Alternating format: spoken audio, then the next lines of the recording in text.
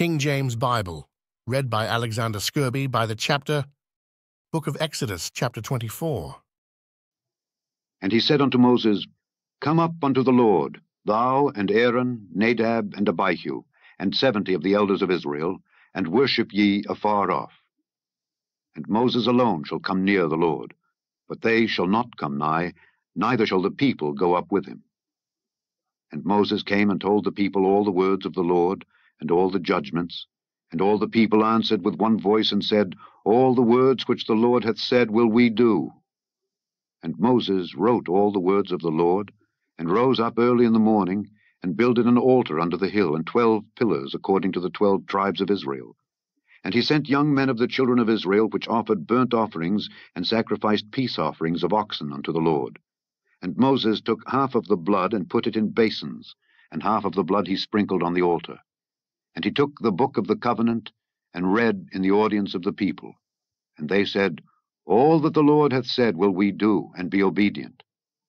And Moses took the blood, and sprinkled it on the people, and said, Behold the blood of the covenant which the Lord hath made with you concerning all these words. Then went up Moses and Aaron, Nadab and Abihu, and seventy of the elders of Israel, and they saw the God of Israel. And there was under his feet as it were a paved work of a sapphire stone, and as it were the body of heaven in his clearness. And upon the nobles of the children of Israel he laid not his hand. Also they saw God, and did eat and drink. And the Lord said unto Moses, Come up to me into the mount, and be there. And I will give thee tables of stone, and a law, and commandments which I have written, that thou mayest teach them. And Moses rose up, and his minister Joshua, and Moses went up into the mount of God. And he said unto the elders, Tarry ye here for us until we come again unto you. And behold, Aaron and Hur are with you.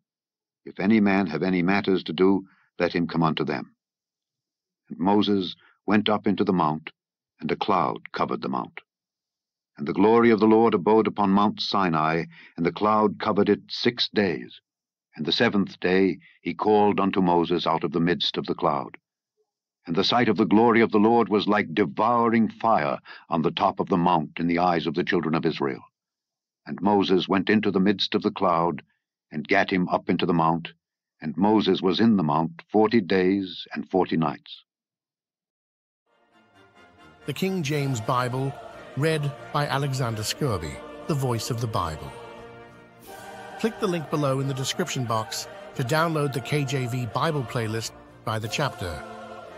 Click the link below in the description box to download the KJV Bible playlist by the book From Genesis to Revelation. Subscribe, like, and share it with others.